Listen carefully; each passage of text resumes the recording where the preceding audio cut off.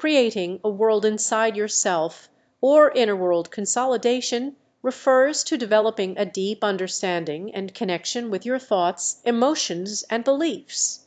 It involves exploring your inner landscape and gaining self awareness. To start, find a quiet space where you can reflect and be in tune with your thoughts. Engage in activities that help you express yourself, such as journaling, drawing, or practicing mindfulness. Take time to understand and accept your emotions and try to identify patterns or triggers. Explore your values and beliefs and consider how they shape your worldview.